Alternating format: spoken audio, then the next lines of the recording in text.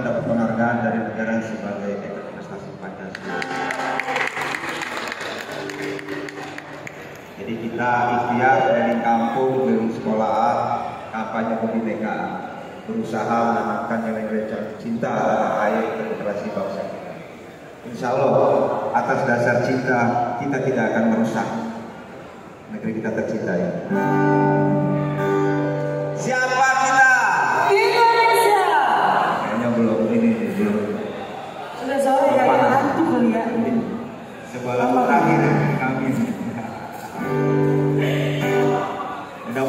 Juga bisa diajak keliling juga nih sama Pak Menteri ya, keliling sekolahan, menanamkan cinta tanah air generasi bangsa kita melalui edukasi musik ya.